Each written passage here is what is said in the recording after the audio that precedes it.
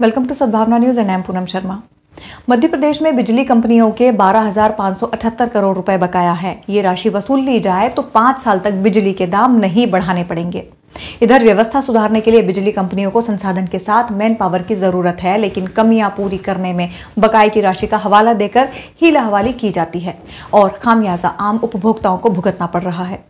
मध्य प्रदेश में जब भी बिजली के महँगे दाम को लेकर सवाल उठता है तो बिजली कंपनियों के घाटे का हवाला दिया जाता है। लेकिन आपको जानकर हैरानी होगी कि बिजली कंपनियों का बारह करोड़ रुपए बकाया है।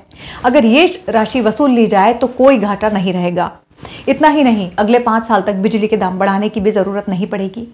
लेकिन बिजली कंपनियाँ वसूली की जहमत नहीं उठा रही हैं। प्रदेश के करीब 70 लाख बिजली उपभोक्ता बकाया राशि नहीं दे रहे हैं, जिसका खामियाजा बाकी के एक करोड़ छाछठ लाख उपभोक्ताओं को उठाना पड़ रहा है।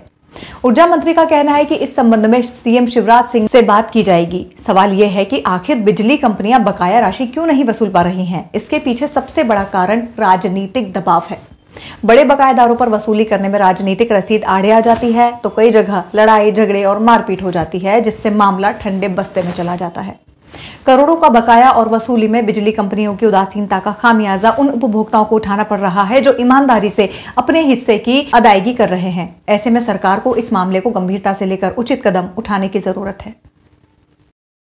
Powered by Arthros Clinic, a dedicated center for arthroscopy and sports injuries.